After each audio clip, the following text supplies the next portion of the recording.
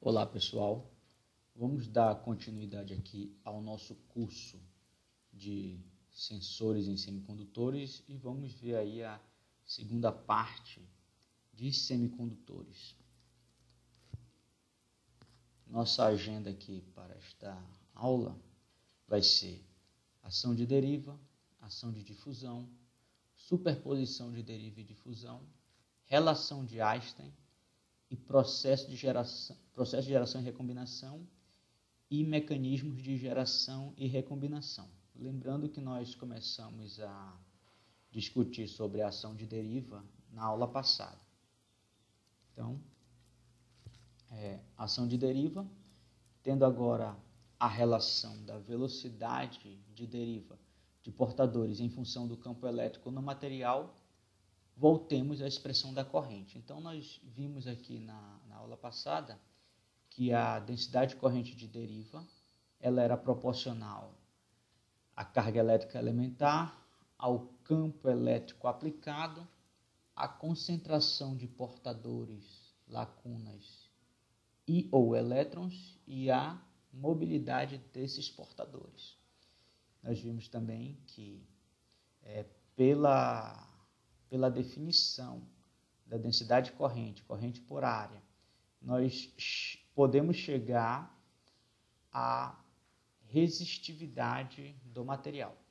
E a resistividade, aqui no caso do semicondutor, ele vai ser dado pelo, depois de fazermos os ajustes aqui, do potencial elétrico, do campo elétrico, pela densidade de corrente, vai ser dado pelo inverso da carga elétrica elementar, densidade de portadores e a mobilidade dos portadores.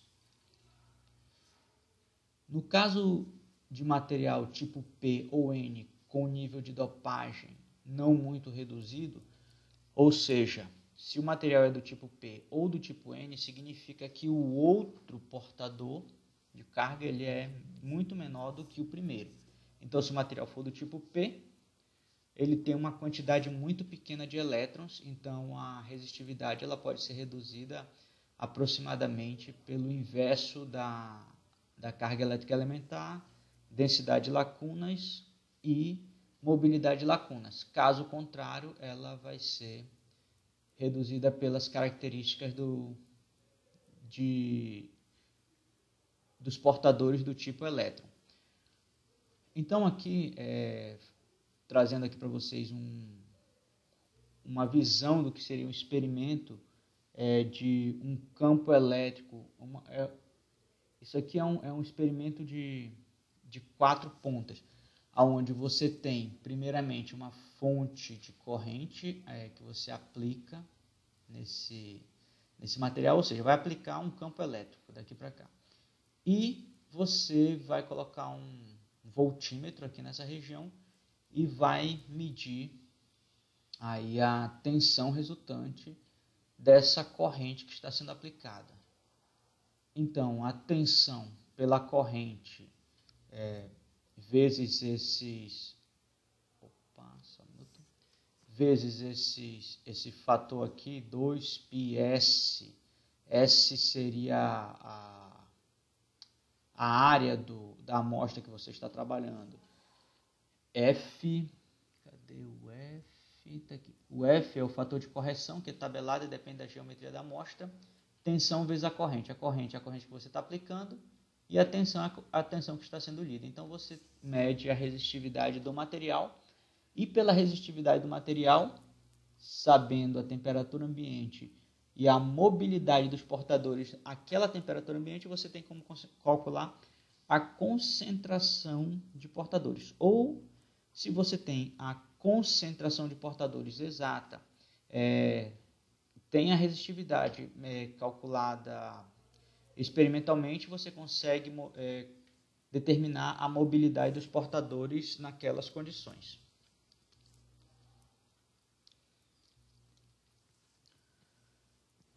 Continuando aqui a ação de deriva, então aqui nós temos uma é, a resistividade daquela amostra. Então, para essa amostra, onde nós temos aqui a, a curva, é, o eixo de resistividade e a densidade de impurezas, nós podemos ver aqui por esta curva que a resistividade do material ela reduz de acordo com a é isso mesmo. A resistividade ela reduz de acordo com o aumento da concentração de dopantes no material. A resistência de folha ou resistência por quadrado é a resistência de uma amostra de área de superfície quadrada, onde a área é igual ao a largura, a, aonde o, a largura é igual ao comprimento e de uma determinada espessura. Então, esse aí seria o conceito de resistência de folha. Ação de deriva de portadores somente ocorre quando houver um campo elétrico. Então, isso aqui é importante. Ação de deriva só ocorre mediante a um campo elétrico externo aplicado. Sendo, se o material tiver em, em na, na verdade, mesmo fora do equilíbrio, só ocorre se tiver um campo elétrico aplicado, externo ou interno. O interno pode ocorrer por é, desequilíbrio é, térmico ou desequilíbrio de carga, é como ocorre na, na formação da barreira de potencial, mas é momentâneo. Aí depois que se estabiliza, é, o potencial, na, verdade, o potencial permanece, estabiliza, mas a concentração de, de carga se movendo para um lado para o outro, a concentração líquida vai dar zero, mas vai estar presente ali a ação de deriva também ela é apreciável quando houver altas concentrações de portadores, podendo ser apreciável para os portadores majoritários. Aqui nós vamos ver por que isso depois, porque no caso, é, em algumas situações, principalmente quando nós estamos estudando a corrente é, de dispositivos através de uma junção, pode ser diodo, pode ser transistor bipolar ou até transistor MOS, é, basicamente ali, na verdade, em diodos e transistores bipolares, basicamente a corrente ela é medida pela é, pela concentração ou pela variação na concentração de portadores minoritários. A componente de corrente de deriva muitas vezes pode ser desprezada. Nós vamos ver isso também. Precisamos agora saber como determinar o campo elétrico para completar o cálculo da corrente de deriva. Então, é, ação de deriva, nós temos aqui é, a nossa o diagrama de bandas quando eu tenho um material do tipo aqui seria do tipo P e aqui seria um, é, aqui um material do tipo P, aqui um material do tipo N e eu tenho aqui uma barreira de potencial. E aí, tendo essa barreira de potencial, eu tenho aqui um campo elétrico interno é, causado pelos íons é, que, que são que ficam sem a sua carga de balanceamento, que seriam os portadores, elétrons ou lacunas, e aí eu vou ter uma depressão de portadores, então vou ter uma, uma, uma diferença de carga iônica, e aí ela vai causar essa torção aqui na, na barreira. E essa, e essa diferença de carga ela vai gerar um potencial elétrico e, consequentemente, um campo elétrico interno no material. E eu coloco aqui para vocês é, as definições é, matemáticas de gradiente, divergente, rotacional e laplaciano, que nós é, precisamos para fazer lá os cálculos mais precisos é, em eletromagnetismo. Então, só para vocês revisarem aí essas definições desses operadores matemáticos que são muito úteis aqui no estudo do, do comportamento eletromagnético do, dois, das partículas. Então, é, Vamos lá. A energia do, de uma partícula ela é dada pela energia cinética mais energia potencial. Então, a energia potencial ela pode ser dada pela energia cinética menos uma energia de referência, e a energia de potencial ela é dada pelo potencial aplicado vezes a carga. Então, considerando que dentro de um mesmo semicondutor os níveis de energia EC, EV e EI são sempre paralelos, ou seja, aqui esse EC ele não é energia cinética, ele é a energia da banda de condução. Então, é, é o nível inferior de energia da banda de condução. E esse ER aqui seria uma energia de, de referência, aqui pode ser do nível de Fermi. Então, esses três níveis, esse, esse é a energia de referência, que é a energia de Fermi, eles são sempre paralelos. Então, o potencial elétrico dado por um sobre isso aqui, o campo elétrico dado pelo, aqui seria, deixa eu ver o, o conceito, seria o divergente, ou o gradiente, o gradiente do, do potencial elétrico, e dado que ele é o, o gradiente, então o gradiente ele é dado pelas derivadas parciais daquele daquela função no espaço. Então, aqui ó, o, a derivada que, é, que seria como nós estamos só com uma com uma dimensão aqui trabalhando só unidimensionalmente, seria a derivada total, não tem derivada parcial. Então, derivada do da energia de da, da energia do nível inferior da banda de condução no espaço. E, e ela é igual para a derivada da energia da banda do limite superior da banda de valência e é igual também à derivada da energia do nível de Fermi que está mais ou menos aqui no centro do da nossa banda. E agora vamos para a ação de difusão. A ação de difusão de portadores ocorre sempre que houver uma variação espacial nas suas concentrações. Então, por exemplo, em um determinado instante, nós temos aqui uma concentração de partículas em um determinado, vamos supor, pode ser um, um líquido, pode ser um ambiente, mas aqui é, seria partículas que têm energia cinética, então elas podem se movimentar.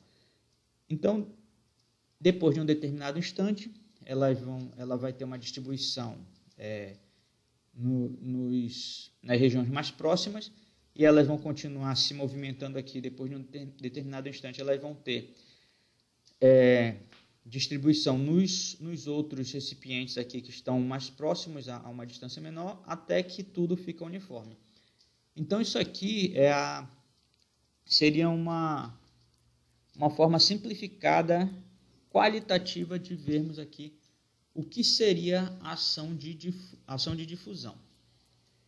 Então, vamos lá. O número líquido de portadores atravessando um plano ácido. Primeiramente, nós temos aqui um limite. Aqui nós temos o espaço é, unidimensional e um determinado limite.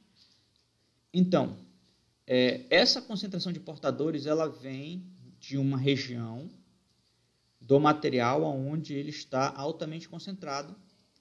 E essa, e essa concentração ela vai fluir para uma região do material onde eu tenho uma concentração menor desses portadores, que é dado pela diferença do fluxo vindo de cada lado.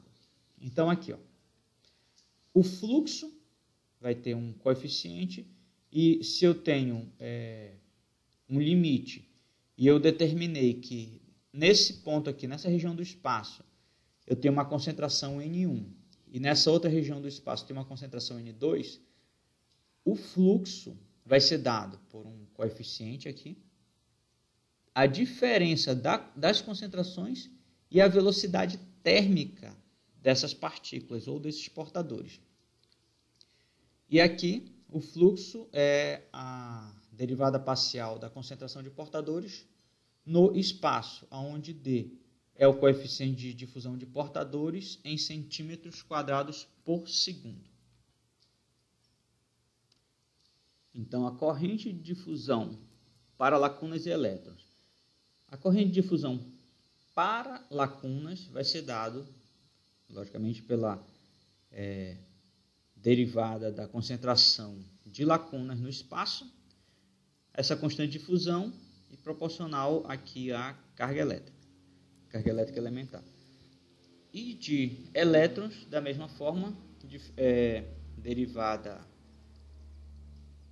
da concentração de elétrons no espaço, também pela, pelo coeficiente de fusão de, de elétrons e a carga elétrica elementar.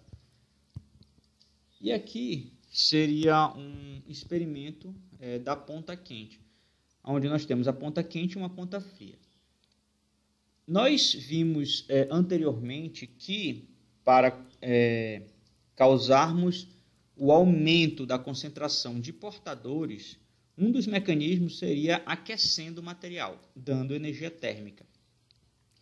Então você fornece energia térmica para os elétrons que estão na banda de valência.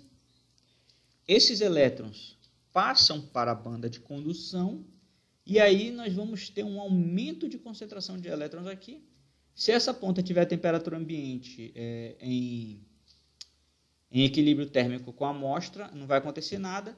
Mas se essa ponta tiver uma temperatura menor que a temperatura da amostra, o que vai acontecer é que elétrons que estavam na banda de condução, eles vão é, perder energia térmica e vão voltar para a banda de valência. Então, vou ter uma concentração menor de elétrons aqui nessa região. E aí, o que acontece? É, tendo uma concentração maior de elétrons nessa região uma concentração menor nessa, vai, vai acontecer que essa concentração ela vai se distribuir na amostra.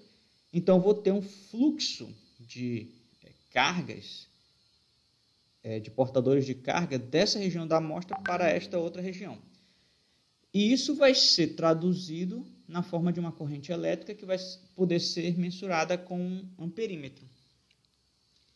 Então, nós podemos fazer a, a, a medição dessa corrente de difusão através deste, deste mecanismo. E aí, ó, nós temos aqui fluxo de elétrons, corrente elétrica. Se eu tenho um aumento da concentração de elétrons nessa região, eles vão fluir nessa direção. É, o sentido convencional da corrente é do positivo para o negativo.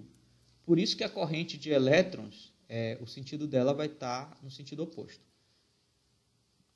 Já se nós tivermos é, um aumento da concentração de lacunas, nós vamos ter é, o fluxo de lacunas fluindo desta região para esta região, que é o mesmo sentido da corrente elétrica convencional.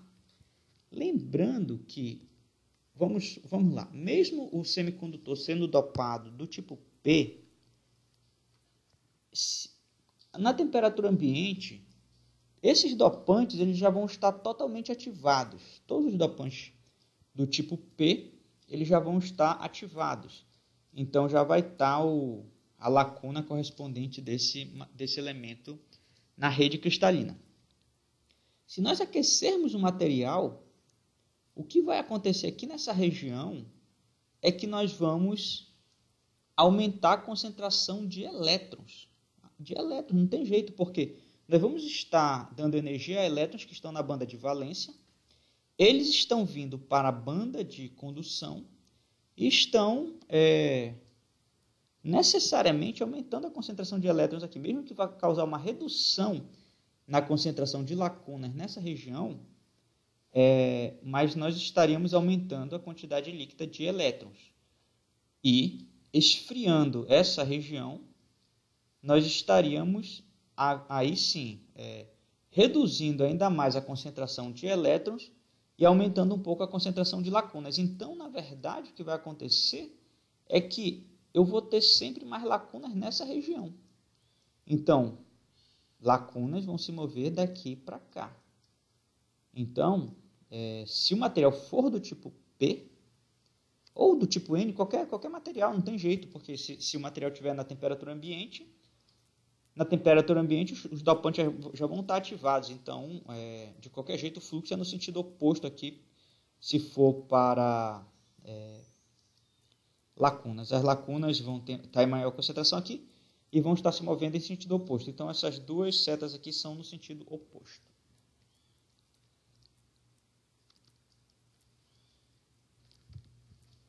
E a superposição da deriva e difusão. De forma geral, as ações de deriva e de difusão podem ocorrer concomitantemente, e elas ocorrem. Basta haver um campo elétrico e um gradiente de concentração. Senhores, no material, é, mesmo em equilíbrio térmico,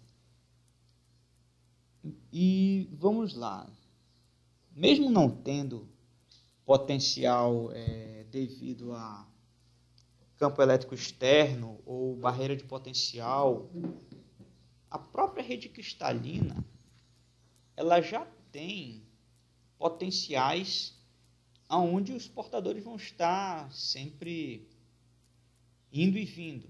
É claro que se ele estiver em equilíbrio térmico, não tiver força externa aplicada, é, ele, a, a densidade de corrente vai ser zero, vai ser nula. Mas a ação de deriva e difusão vão estar sempre acontecendo ali, porque vai ter sempre elétron desbalanceando localmente ali a, o potencial da rede. E é justamente por isso que eles giram é, em torno do núcleo do átomo, que eles estão ali na eletrosfera do átomo. Eles têm que balancear é, a eletrosfera de forma que o potencial elétrico fique em equilíbrio. Então, é, é sempre vai existir ação de deriva e de difusão mesmo que num microcosmo. Então, as duas ações, eu tenho aqui a concentração, a corrente de difusão, o como é que é o nome disso? Tá, vamos lá. É, densidade corrente, densidade corrente de lacunas e de elétrons. E a densidade corrente de lacunas é dado pela é, parcela referente a ao arrasto, a deriva, e a parcela relativa à difusão. Da mesma forma, o, a corrente de elétrons. Então, eu vou ter as duas correntes dadas pelo gradiente aqui, se formos mais específico no espaço.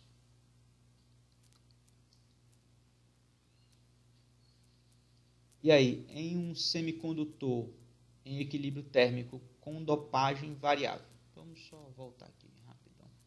Então essa superposição ela vai ocorrer, é, só para finalizar aqui, e nós vamos ter no final a densidade corrente total igual à soma dessas duas densidades correntes, certo?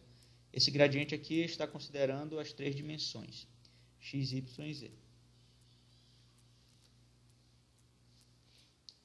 Então a relação de Einstein, a relação de Einstein, ela é uma ferramenta muito importante, principalmente para determinarmos o coeficiente aí de difusão. Então, o semicondutor equilíbrio térmico com dopagem variável. Vamos lá. Então, temos a dopagem, material tipo P, e ele vai, ele vai tendo uma variação na dopagem no, à medida que eu me afasto dessa referência. Então, em termos de diagrama de banda, o que aconteceria seria isso aqui. É, o nível de Fermi do material na região de referência ele vai estar muito mais próximo à banda de valência, porque o material é do tipo P. E à medida que eu me afasto da referência, esse nível de Fermi ele vai se aproximando do nível de Fermi intrínseco do material mas ainda assim ele ainda é do tipo P. Basta saber que ele abaixo do nível de Fermi ele é do tipo P e acima do nível de Fermi ele é do tipo N. Então, tendo aí a, a, a equação da, concentra, da densidade corrente de lacunas, dado pelo que nós vimos anteriormente, quando o material está em equilíbrio térmico, essa densidade é zero, porque, como eu falei, é, as, uh, o potencial que é criado através do campo elétrico do desbalanceamento de íons, é, ou de depressão aqui, que vai ser criado pela pelo movimento de, de cargas de um lado para o outro. Se ele, se eventualmente uma partícula é atraída para o lado, para essa região aqui da referência, em, ela, vai, ela vai eventualmente retornar para cá, porque se ela for atraída, ela aumenta a concentração desse lado, então a, a concentração maior requer que o balanceamento é, leve ela para o outro lado. Então o que vai acontecer é que a, o resultante desses dois movimentos aqui vai ser nulo. Então, então o, o resultado da, da densidade corrente de, de deriva mais o da difusão vai dar igual a zero. E aí, através desta, desta equação, nós isolamos o campo elétrico e aí podemos calcular o campo elétrico da... Quer dizer, na verdade, nós sabemos que o campo elétrico é igual ao gradiente da, da energia do, de qualquer uma dessas três curvas aqui no espaço sobre a carga elétrica. Nós sabemos que a concentração de lacunas ela pode ser dada é, em função da concentração inicial, da concentração intrínseca e da, e do, da função de Boltzmann, aqui é onde nós consideramos os níveis de energia da nossa, do nosso diagrama de bandas, sabendo que o, nesse caso aqui, aonde a, a variação da concentração desse nível de Fermi, que aqui é o, é o nível de Fermi principal, o nível de Fermi principal do material ele é diferente do nível de Fermi intrínseco e diferente da, do, do, da energia aqui das bandas. É, então, o nível de Fermi é, do material em equilíbrio térmico ele é plano. Então, essa concentração, essa, esse gradiente é nulo. E tirando a a derivada da concentração no espaço, nós vamos ter essa função aqui que também depende da, do gradiente da energia do nível de Fermi intrínseco no espaço. Substituindo esse cara aqui, bem aqui, nós vamos ter aqui que essa, esse, essa derivada ela vai ser função do campo elétrico. E aí, sabendo que temos essa derivada em função do campo elétrico, podemos substituir esse gradiente aqui e isolar a nossa constante de fusão para termos a constante de fusão em termos da mobilidade e dessa constante térmica. É, constante térmica que aqui é a similar à constante térmica do diodo. Na verdade, é a constante térmica de um diodo KT sobre Q. É a, mesma que a 25, que a temperatura ambiente é aproximadamente 25 milivolts. É claro que nós não estamos trabalhando com essa aproximação aqui, nesse caso, porque nós vamos ter variação de temperatura, mas é aquela mesma constante. Então, nós vamos ter aqui uma forma de determinar o, a constante de difusão pela mobilidade e a tensão térmica aqui da, do material. Essa, essa é a relação de Einstein. Embora as relações de Einstein tenham sido deduzidas considerando o semicondutor em equilíbrio térmico, elas são gerais e valem também fora do equilíbrio térmico. Então, essa é uma relação que vale, diferente das aproximações ali da, do modelo de Boltzmann. E aqui vamos a, uma, a um exercício. Um dado semicondutor apresenta o diagrama de bandas em, condição, em condições de equilíbrio, dado pela figura, por essa figura aqui. Dados a energia aqui da banda proibida, a concentração intrínseca, tensão térmica e a temperatura ambiente fala em algum lugar a temperatura ambiente. Não, mas a temperatura ambiente é isso aqui, KT. Determine a concentração de portadores em cada um, em cada uma dessas distâncias aqui a partir da referência. Então, primeira coisa, nós temos que é, construir o, o modelo. Então, vamos, vamos lá. Então, nós temos que a energia de Fermi a um quarto é, dessa distância, ela vai ter 0,28 electrovolts. Como que nós sabemos disso? Porque isso aqui seria a metade da energia de Fermi entre a banda de valência e a banda de condução. Então, nós temos 0,56 aproximadamente aqui. A metade disso que vai estar aqui é 0,28, é a partir do nível de referência aqui, que seria a banda de valência. Ao meio, nós temos aqui 0,56, a 3 quartos 0,84 e aqui no final ela é igual à própria energia da banda de condução aqui, é, considerando a energia da banda de valência como referência. Então, tendo aqui os modelos de cálculo da concentração de elétrons lacunas, nós podemos determinar a concentração em cada um desses níveis, sabendo que temos aqui o, o nível de Fermi do material, o nível de Fermi intrínseco, constante térmica, e para cada um deles nós determinamos aqui a concentração de elétrons. Então, aqui ela é baixa porque o material é do tipo P nessa região, então, 2, 10 elevado a 5. Na metade, nós temos a concentração intrínseca, porque o material está basicamente sem dopagem. E a 3 quartos da, do limite, nós temos aqui uma concentração de aproximadamente 5, 10 a 14. Então, basicamente aqui. Então, é, é essa forma que nós temos aí para calcular é, de forma aproximada a concentração de portadores deste material. B. Para que valores de X, se existir, devemos classificar o semicondutor como degenerado?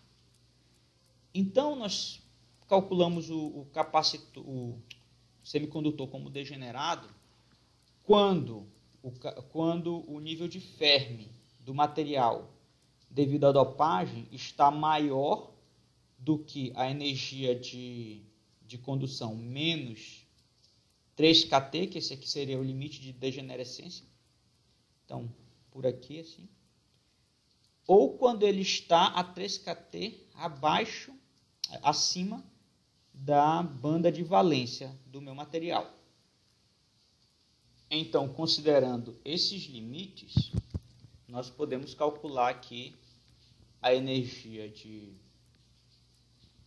é, o, o, o local onde esse semicondutor ele vai estar, o local onde essa dopagem vai vai acontecer a partir aqui da banda de valência, então é, eu vou considerar primeiramente a banda de valência, o limite de degenerescência aconteceria é, tendo aqui a equação, sabendo que ela varia a essa taxa aqui sobre a, a distância total no espaço. Então, quando ele é, estiver com essas características aqui, vai ser aproximadamente quando x estiver maior do que 0,93 é, ou 93% do tamanho de L total. Então, quando é, o material, deixa eu ver, isso aqui vai ser, não é para a banda de valência, senhores, aqui é para a banda de condução primeiro. Então, aqui está tá, tá errada a equação, é só colocar o EC aqui, não é o não seria o EV, seria o EC. Então, quando o material estiver por aqui, mais ou menos, a 93% do limite de L ele vai começar a estar degenerado.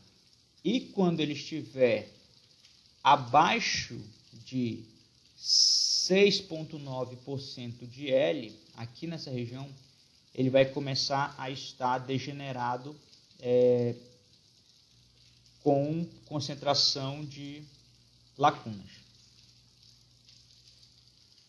Apresente as, as curvas, apresente curvas qualitativas da variação de elétrons e lacunas versus x. Então, é uma, uma relação linear aqui. Duas é, curvas lineares que vão é, representar a variação de elétrons e lacunas nessa, nessa amostra.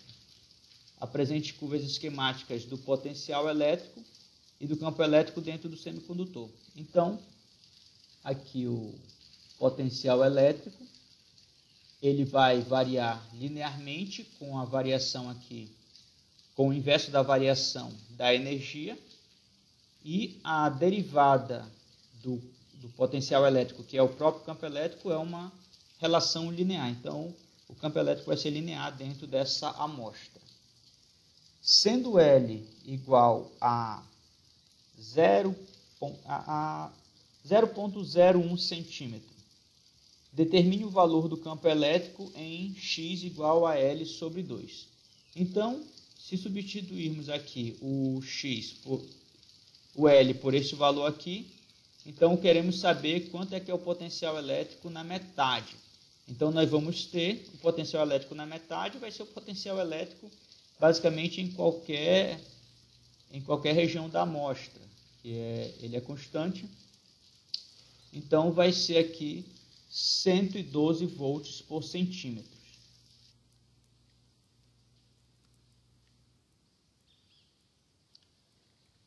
Processo de geração e recombinação. Então, quando por algum motivo a concentração de portadores do material é alterada em relação é, é alterada, a reação do material é tentar voltar ao equilíbrio. Então, se nós tivermos é, uma concentração de portadores menor que NI ao quadrado, um, é, o produto da concentração de portadores menor do que esse, então o material tenta reagir gerando mais portadores para compensar a recombinação.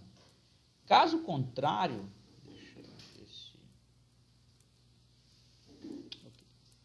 caso contrário, essa se, a, se a, o produto da concentração de portadores for maior do que n ao quadrado, o material é, reage recombinando mais do que gerando, para tentar compensar essa, essa diferença. Isso é claro nas condições de baixa injeção de portadores. Aí a condição de baixa injeção de portadores, ela vai ser quando o material fora do equilíbrio apresenta uma perturbação significativa apenas na concentração dos portadores minoritários. Então aqui nós não estamos falando de variação na, é, grandes na concentração de portadores majoritários, mas somente na dos minoritários, sendo que esta perturbação mantém ainda a concentração dos minoritários bem menor do que a concentração dos majoritários. Então vamos lá. Se nós temos uma dopagem aqui do material tipo N 10 elevado a 15, nós vamos ter é, uma concentração de lacunas da ordem de 10 elevado a 5. Se nós aumentarmos essa concentração de lacuna 5 ordens de grandeza, ele chegar a 10 elevado a 10, ou até 10 elevado a 11, ou 10 elevado a 12, 10 elevado a 12, eu ainda vou ter uma concentração de portadores minoritários muito menor do que a dos majoritários. Então, vou ter três ordens de grandeza menor dos portadores minoritários. Nesse caso, eu tenho baixa injeção. Agora, quando eu chego ali a duas ordens de grandeza, aí já já tenho, é, já não teria, não poderia considerar a condição de baixa injeção porque porque o, a concentração de portadores minoritários já estaria mais ou menos da mesma ordem de grandeza da concentração de portadores majoritários. Então, para materiais do tipo N, nós temos é, condição de baixa injeção. N, a concentração de, de, de elétrons aproximadamente igual à concentração inicial de dopantes, e a variação da concentração de lacunas no material do tipo N, ela vai ser dada pela concentração atual, devido à perturbação, menos o P0, que é a referência. Aqui, se for 10 elevado a 15, aqui vai ser 10 elevado a 5. Se o material estiver em equilíbrio, o P vai ser igual a P0, então não vai ter variação. Então, quando essa variação, considerado baixa, baixa injeção, quando esta variação for ainda muito menor do que a concentração inicial de portadores majoritários, para o material tipo P, de qualquer, do mesmo jeito.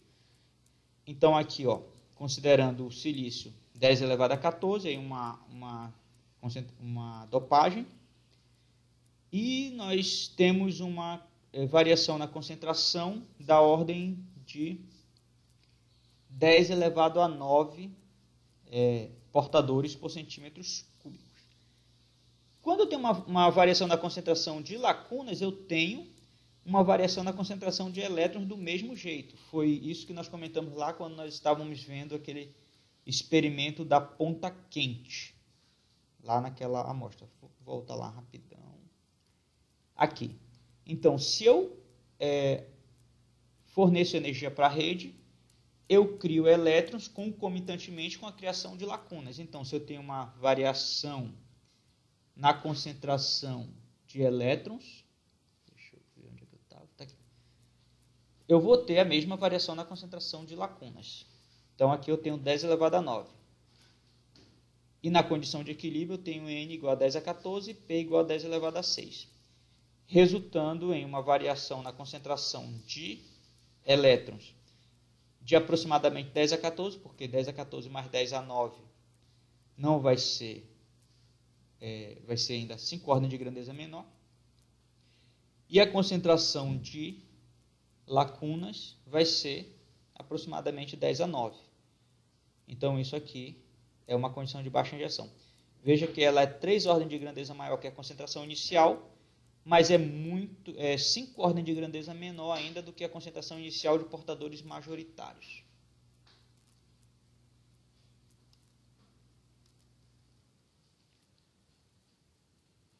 Então, a transição banda a banda. Como ocorre a transição banda a banda? Ela ocorre aqui por três mecanismos. E aí, é, esses mecanismos são que nos permitem utilizar o material como sensor. Então, semicondutor, aquele luz, ele causa essa variação, calor, ele causa esta variação, e calor ou falta de calor, é, é aqui no caso seria o resfriamento, ele causa é, transição. Então, a transição banda a banda. Quando eu forneço luz, a partícula ela sai da banda de valência e vai para a banda de condução. E aí fica na banda de condução até retornar e devolve o pacote de energia. Quando eu forneço calor, eu tiro o elétron da banda de valência, ele vai para a banda de condução e ele fica lá até que eventualmente ele perca esse pacote de energia ou que aconteça um processo de resfriamento do material é, artificialmente. Então, no processo de resfriamento, eu removo a energia e o elétron que está na banda de condução retorna para a banda de valência para o estado fundamental, liberando aí o pacote de energia. Em equilíbrio térmico, a geração e recombinação, elas são da mesma ordem de grandeza. Então, a taxa líquida de geração e recombinação, ela vai ser dada aqui por essa expressão. Concentração inicial de lacunas, de, de elétrons lacunas, concentração final, concentração intrínseca. Taxa líquida de geração e recombinação, aonde a taxa de, é, de geração de portadores, da taxa da variação da concentração de portadores no tempo vai ser igual a essa relação. Considerando a condição de baixa injeção do material, então nós vamos ter que esta variação na taxa de concentração no tempo, ela vai ser dada pela taxa de geração ou recombinação dividido pela, pelo tempo de vida do portador na rede cristalina. Na verdade, é o tempo de vida do portador minoritário em um mar de portadores majoritários. Então, tempo de vida no material do, do, de minoritários P em um material tipo N. Então, esse tempo de vida, ele, ele indica qual o tempo médio que um portador é, minoritário consegue sobreviver antes de se recombinar em um mar de portadores majoritários. Então, para o material do tipo N, nós temos material tipo P, nós temos isso aqui. Então, em um material de, do tipo N, o que é significante ali para, para este mecanismo de baixa injeção é a variação na concentração de lacunas no tempo. Já para o material do tipo P, o que é importante é a variação da concentração de elétrons no tempo. Então, nós temos aqui o tempo de vida dos, dos portadores. Aqui. Não, não é tempo de vida, não. Aqui é essa constante alfa, que ela é, também que ela é usada aqui para determinação do tempo de vida do portador. No germânio, no silício, no arseneto de fósforo e no arseneto de galho.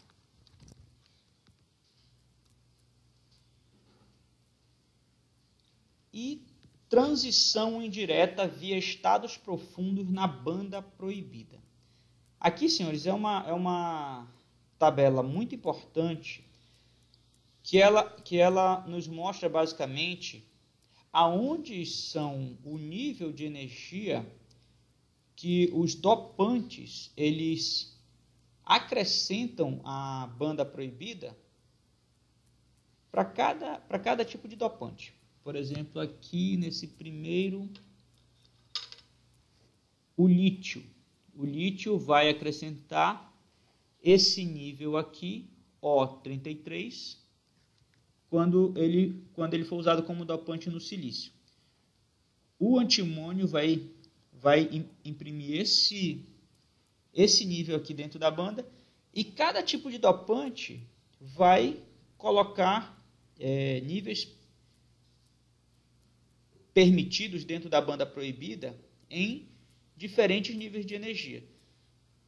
E, essas, e essa transição via estados direto ocorre quando o elétron sai da banda de valência, vai primeiro para um nível desse de um nível permitido dentro da banda proibida e depois ele passa para a banda de condução. Então isso aí seria uma transição indireta supondo aqui é, um nível de energia aqui perto da banda de valência, o elétron ele vai ter muita facilidade para sair da banda, de, da banda de valência e ir para esse nível permitido. Entretanto, não vai ser tão fácil para este elétron sair desse nível e ir para a banda de condução, porque o tamanho aqui da, do salto quântico que ele tem que dar é quase do tamanho da energia total da banda proibida. Então esse estado aqui ele não é eficiente para transição indireta. Quais são os estados quais são os, os níveis é, eficientes para a transição indireta? São aqueles que estão mais próximos ao centro da banda. Por quê? O elétron sai da banda de valência e vem aqui para esse nível, e depois ele conseguindo um outro pacote de energia ele, é, do mesmo tamanho, ele sai desse nível e vai para a banda de condução, porque é bem menor o salto quântico do que é, o salto total da banda proibida. Então, aqui nós temos esses é, estados, é, níveis eficientes e níveis não eficientes para transição direta. Eles não são eficientes para transição direta, entretanto, é, transição direta geralmente é algo. Transição indireta é geralmente algo que nós queremos evitar em, é, em dispositivos, porque senão ele não funciona do jeito que ele. É, para, para o propósito que ele foi projetado.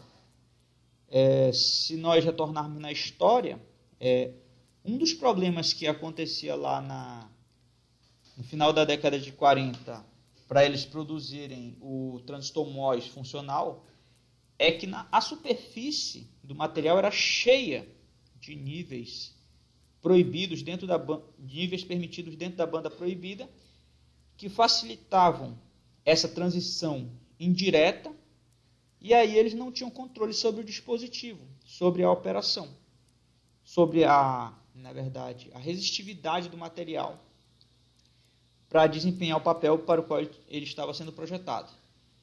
E aí ter esses dopantes aqui é, controlados é, em níveis onde eles são ineficientes para a transição indireta e ter a banda de a banda proibida o mais limpa possível é o que nos permite desenvolver dispositivos eletrônicos é, cada vez mais eficientes desde 1948 até agora. Então, aqui a emissão de uma lacuna. Ela acontece quando o elétron sai da banda de valência, vai para um estado permitido dentro da banda proibida e depois ele sai desse nível e vai para a banda de condução, quer dizer, na verdade que é a emissão da lacuna, quando a lacuna é formada, e aqui é a emissão do elétron, quando o elétron é formado. E o processo oposto seria a captura da lacuna, quando ela quando o elétron sai desse nível permitido e volta para o nível fundamental, é, na verdade, a captura aqui do elétron e depois a captura da lacuna. E a emissão da lacuna, a emissão da lacuna, aqui nós temos uma taxa de emissão onde EP é a probabilidade de emissão da lacuna, sendo uma função do nível de energia ET da armadilha. Então, o nível de energia da armadilha, voltando lá naquele diagrama, é esse nível aqui o nível a partir da banda de valência. Usando a banda de valência como referência nesse caso. INT é a densidade de armadilhas por centímetros cúbicos. Então, voltando lá no diagrama, NT seria a quantidade de armadilhas que eu vou ter naquele nível aqui. Então, no caso aí, é o que acontece quando nós temos dopantes. Os dopantes eles são é, ativados facilmente porque eles estão bem próximos ou da banda de condução ou da banda de valência.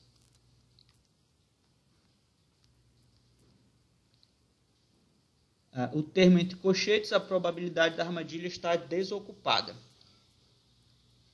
Então, a emissão, é, a, a, função que define a probabilidade da taxa de emissão do elétron é dado por essa outra expressão, onde esses conceitos são similares mais para a partícula do elétron.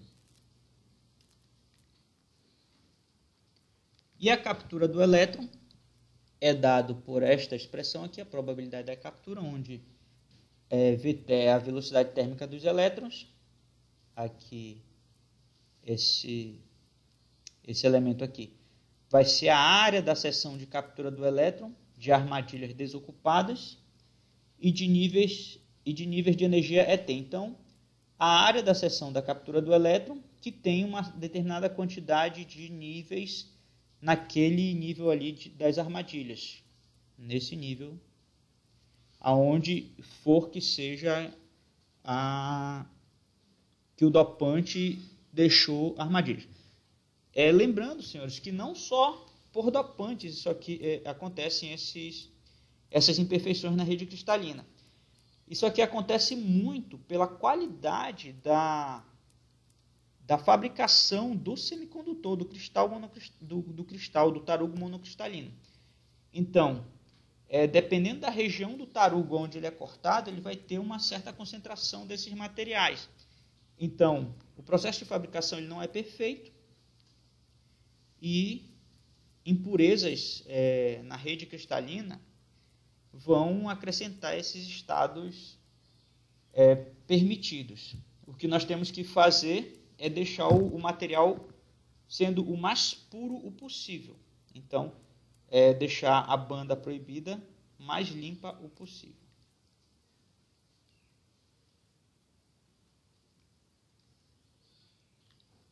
Então, estávamos aqui. A captura do elétron vai ser dado por essa expressão e a captura da lacuna por expressão similar. Podemos determinar as constantes de probabilidade de emissão de elétrons e lacunas, EN e EP, respectivamente considerando as condições de equilíbrio térmico. Então, a, no equilíbrio térmico, a probabilidade de emissão de captura seria a mesma probabilidade de emissão. Emissão do elétron, emissão da lacuna, emissão do elétron. Então, esses dois aqui no equilíbrio térmico são iguais. E a captura também seriam iguais. Cadê? Não. A probabilidade de emissão do elétron e captura do elétron, emissão da lacuna e captura da lacuna. Substituindo nas igualdades acima as expressões de Boltzmann, das concentrações de elétrons e de lacunas, e função de Fermi do nível de energia ET. Então, substituindo essa expressão aqui, do nível de energia daquelas armadilhas, nós temos essas expressões. Supondo agora que o semicondutor fora do equilíbrio térmico, não será permitido usar a equação de Boltzmann de concentração de elétrons e de lacunas, mas é assumido que as probabilidades de emissão de elétrons e lacunas não sejam afetadas. Então, o material fora do equilíbrio térmico, nós já vimos anteriormente que não valeriam as é, funções de Boltzmann para concentração de elétrons e lacunas. Entretanto, observa-se que estas, é, esse mecanismo de emissão aqui eles não vão ser alterados. Nesta condição, e assumindo a condição de regime estacionário, podemos igualar a emissão líquida de elétrons e a emissão de lacunas, ou seja, o número de elétrons chegando à banda de condução deve ser igual ao número de elétrons saindo da banda de valência.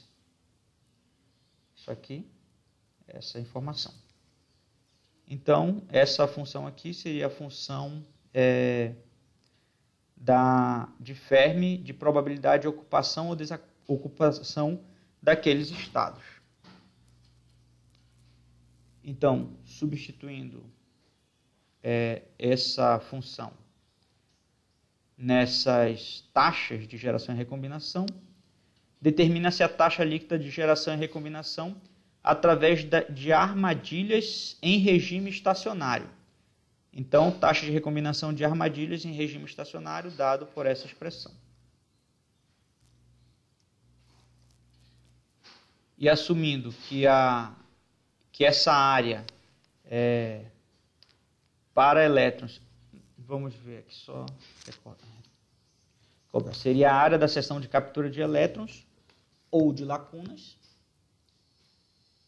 Então, essa seção aí, essa área, se nós formos considerar, nós temos esta aproximação aqui. Então, essa, essa, essa função, é, a determinação dessa função, começa a ficar não tão é, amigável, sendo as armadilhas no meio da banda proibida, as mais efetivas no processo de recombinação líquida, podemos limitar a análise a estas armadilhas. Então, considerando somente as armadilhas é, no centro da banda, nós reduzimos aqui essa taxa de uh, taxa líquida de geração e recombinação através de armadilhas dado por esta expressão tendo o tempo de vida dos, do, das lacunas e dos elétrons dado por essa expressão.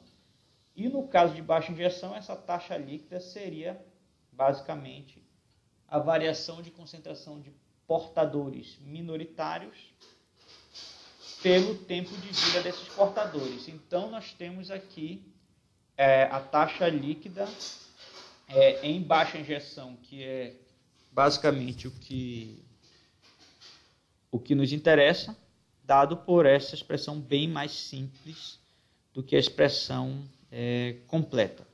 Analogamente, no caso de geração e recombinação banda a banda, nós temos a diferença da concentração de portadores, tanto de elétrons quanto de lacuna, dado pelo inverso da taxa de é, captura ou e emissão de elétrons e lacunas. Mecanismo de geração e recombinação. Supondo um semicondutor do tipo, do tipo N apresente uma perturbação inicial, aonde vai causar uma variação na concentração de portadores é, minoritários, maior do que zero, dentro dos limites da condição de baixa injeção, e que a fonte da perturbação seja desligada neste instante. Então, supondo que nós temos uma fonte ali de perturbação, pode ser luz, pode ser é, calor, ele vai causar uma perturbação.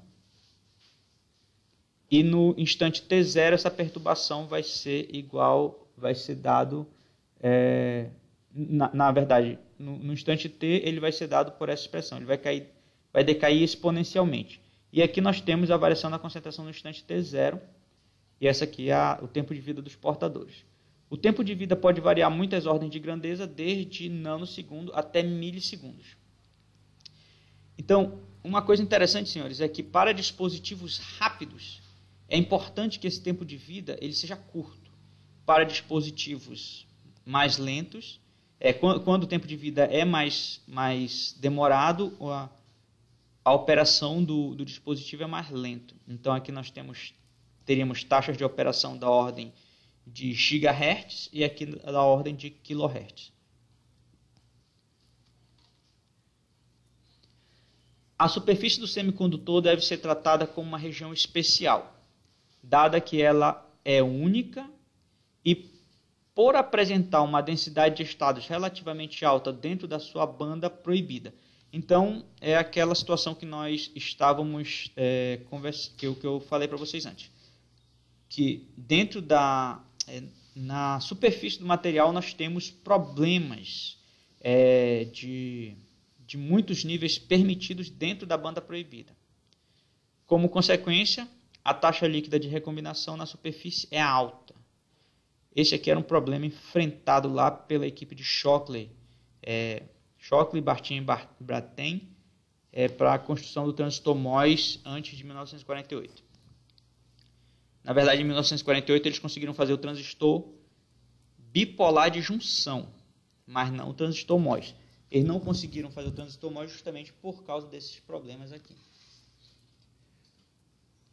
ao invés de usar o, o termo de tempo de vida de portadores numa camada fina junto à superfície, é conveniente é, definir uma velocidade de recombinação superficial dos portadores. Então, é, na superfície, nós usamos uma velocidade de recombinação. Então, onde NST é a densidade efetiva de estados na, su na superfície. Então, pode ser reescrita é a aquela taxa de recombinação através dessa expressão para a região de superfície considerando apenas os estados próximos ao nível de Fermi, esse aqui. Então, na região de superfície nós teríamos uma taxa de recombinação dado por essa expressão. Valores menores que 1 cm por segundo podem ser obtidos para S0, sendo que quanto melhor a qualidade da superfície, menor o seu valor. Então, quanto é, melhor a, for a superfície, é, é, esse valor vai ser menor e, portanto, essa taxa vai ser menor também. Então, cuidados especiais no processamento do circuito integrado são necessários para resultar em uma superfície sem contaminação de impurezas e de alta qualidade da terminação do cristal e sua transição com a camada isolante. Então, isso aqui é, é uma representação aí dos estados permitidos dentro da banda proibida que causam os problemas aí de controle da modulação da resistividade dos semicondutores que causam problemas na, na criação de dispositivos eletrônicos. Então, se nós conseguirmos é, manter essa região o mais limpa possível no processamento de criação do, do, do cristal é, onde nós vamos trabalhar os circuitos, construir os circuitos, então nós vamos ter os circuitos é, melhores. Caso contrário, nós nem teríamos circuitos eletrônicos. Então, o material servia para aplicações metalúrgicas, mas não para aplicações eletrônicas. Então, senhores, essa aqui foi nossa aula de hoje. É, dúvidas aí vocês podem estar em contato e nos vemos na próxima aula. Até a próxima.